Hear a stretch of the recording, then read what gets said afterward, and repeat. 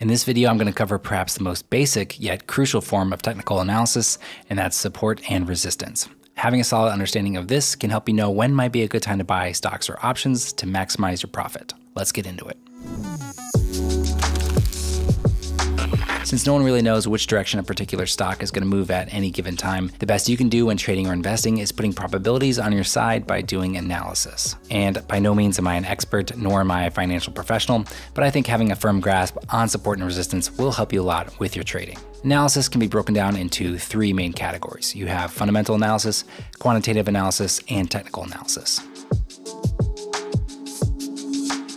Most investors start with a fundamental analysis of a company, which is basically evaluating all the aspects of that business and the market it operates in. You'd also analyze the assets, both tangible and intangible, that the company owns. You would also take into account economic factors, like the strength of the economy and industry specific conditions. From there, you as an investor could determine if you think that the company is undervalued and worth a buy, or maybe you think it's overvalued and not worth looking into at this time. Quantitative analysis looks at the historical performance of a company and can tell you things like earnings per share or price to earnings ratio, which can help give you an idea if you think a company is undervalued or overvalued. You'd use quantitative analysis in conjunction with fundamental and or technical analysis. Technical analysis helps you determine future performance of a stock by analyzing trends and identifying patterns with data.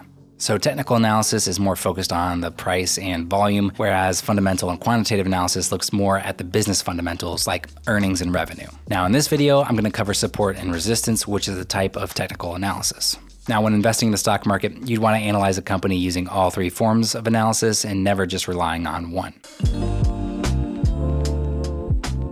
If you look at a stock's chart, it's giving you a pretty good idea on how that stock price moves over time. It shows you where there are a lot of buyers supporting the price and even pushing the price up. And it also shows you where the sellers are, keeping the price from hitting certain levels and even pushing it back down. Support is the area where sellers have a hard time pushing the price below. This area can stop a downward trend from continuing downward. I think of it as the floor, which is supporting the price. So if support is the floor, then resistance is the ceiling. This is where you can find sellers stepping up and creating downward pressure, making it hard for the stock to get past that level. This can stop an upward trend from continuing upward. So in order to find support and resistance levels, you need to have access to a charting platform. Most brokerages will have this built in. For example, Thinkorswim, which I use for most options trading, has great charting tools built in, which makes it really convenient. Even Webull has pretty decent charting tools. And if you're on Robinhood, well, you could look at a chart, but that's about it. Most traders that I know use TradingView for charting, which is a really great platform, and you can even start using it for free. So whatever you use, open it up, type in a ticker for whatever stock you want to analyze, and let's get started. So I like to start by getting a big picture idea of the stock's price history. Here, I'm set to the daily time frame, meaning each candlestick represents one trading day. I can see how the stock has moved going back several years. So I'm looking to see how the stock has been moving over time. Has it been consistently going up? Has it been chopping back and forth and not making any significant moves either way? Or has it been straight up parabolic? I also want to see where the all-time high is that the stock has reached and where it is now in relation to that all-time high. So here I have Adobe pulled up. I can see that after the market dipped, it had a nice recovery and hit an all-time high of $536 at the beginning of September. Since then, it dropped to around $438, almost $100 off of its all time high. It's tried to push up several times, but it's gotten smacked back down by the sellers. But over the last four months, you can see that sellers have been unable to push the price below 438. In fact, this 456 to 458 area have held nicely. What I would then do is mark my charts with both support lines and resistance lines. In TradingView, I'm going to use the horizontal ray tool to add them.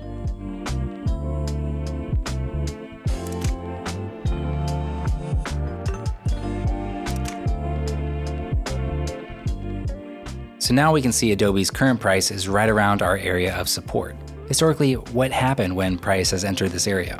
Well, here in September, it touched that area and then worked its way back up. When it touched a second time, it actually broke through. Now, this could have been related to the presidential election as the market as a whole was down around this time.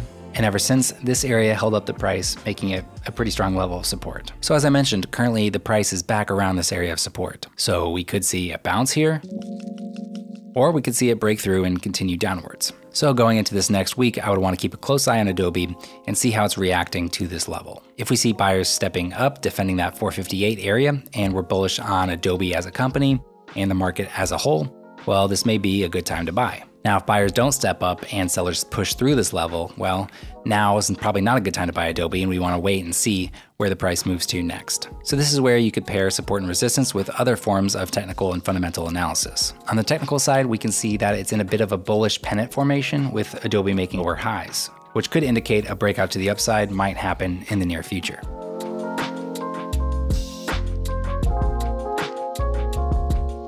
Support and resistance don't just have to be horizontal lines across your chart. Let's take a look at another example. Here is 3M on the daily chart. It's currently 35% off from its all-time high of $259. We can see it's been on an uptrend since March since it's creating higher highs as well as higher lows. But it also looks a bit noisy with lots of pullback at times and sideways choppy movement other times. Let's draw a trend line from this area here in March up and to the right. We want to draw our trend line so it touches as many of those higher low candlesticks as possible. Now let's draw a trend line touching as many of the higher highs as possible. With these two trend lines drawn, we've created a parallel channel, visualizing the uptrend and also identifying the range that the stock has mostly been trading in. Also, most platforms have a tool to draw this parallel channel, like here in TradingView, we can do this pretty easily.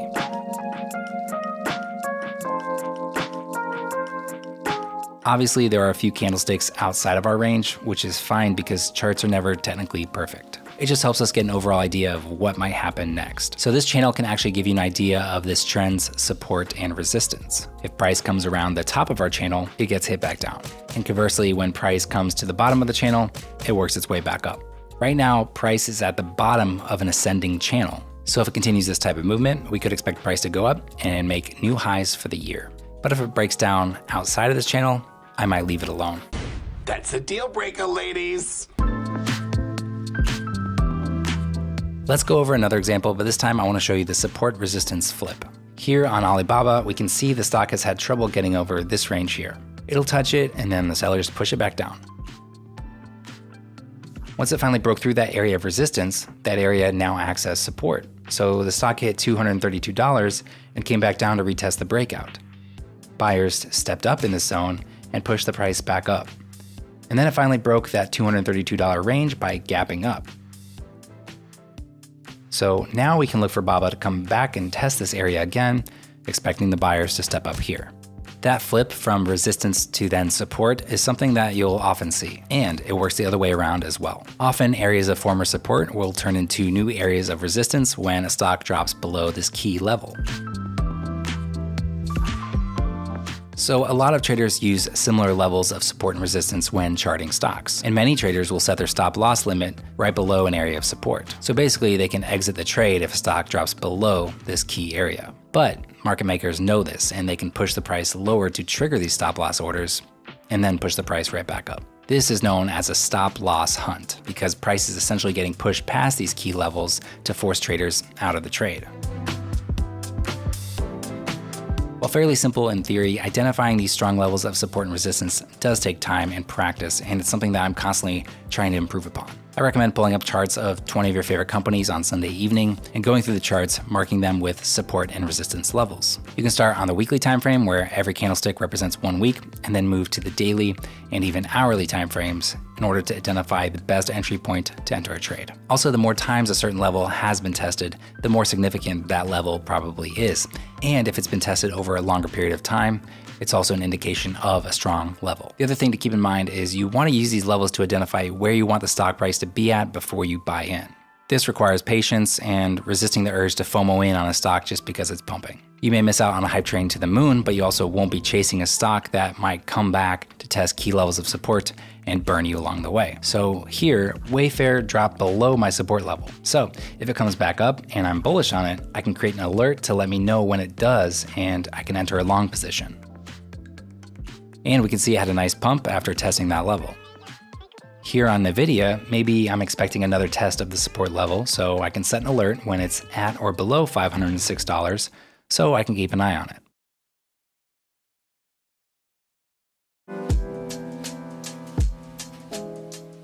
So those are the basics of support and resistance. It's the cornerstone of technical analysis, so I recommend you spend time going over these key levels. This can help you get a better idea of a stock price's movement and help you nail your entries to maximize your profit. Also, this works with just about any type of trading, whether it's options, futures, forex, or equities. But of course, no one form of analysis is foolproof, so use this in conjunction with other information to make smart decisions. If you would do me a big favor and hit the thumbs up button on this video, it'll really help this channel out, and consider subscribing if you haven't already. That's it for this one. I will see you in the next one. Bye.